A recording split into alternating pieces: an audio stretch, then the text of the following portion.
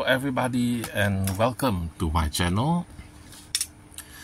Now I have Matchbox 70 years edition and this Mercedes because I'm not going to be opening this. This is the 1962 Mercedes-Benz 220 SE. Now this is known as the W111, W111 fin tail because of the fin here. Okay, let's have a look at the whole set. You have the Bugatti Divo.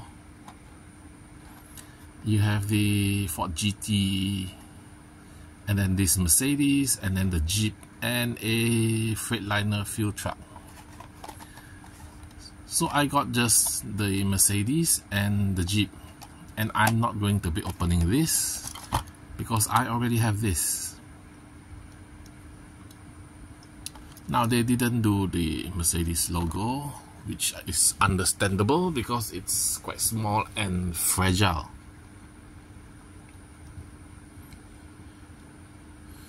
So this is the first um, color. Uh, the driver of the car, Ewy Rosqvist, a lady racing driver, and he, she raced this Mercedes. No sponsor, but the number 711. 711.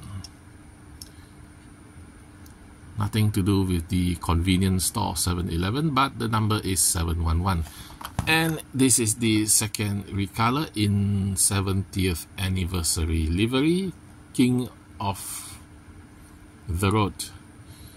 I wonder if Matchbox will come out with a normal civilian livery without all those fancy fancy colors. Hmm. Okay, next the Jeep Wrangler Rubicon, which I have already opened. So let's see. This I open because I have only one now what we like about Matchbox compared to Hot Wheels is the wheels are actually the correct size. There is no protrusion. The arches, the wheels are inside, the arch is outside a little bit.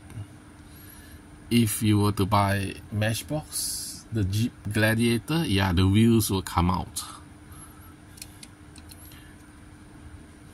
Okay, we have wipers, hinges, vents, all etched onto the hood.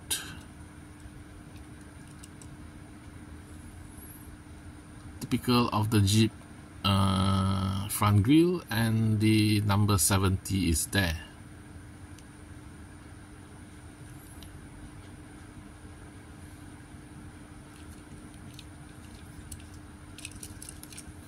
Base detail nothing much. Jeep JL 4 door you have side mirrors which is good. The Mercedes have toppled over. Okay I like the wheels. You can see there is some wording on the wheels. It says Matchbox. Even though it's plastic it looks real because of the orange stripe.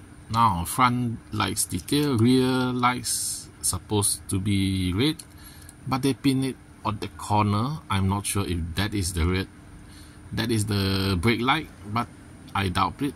It should be at the back right? So anyway thank you for watching. Don't forget to like and subscribe. See you next time. Bye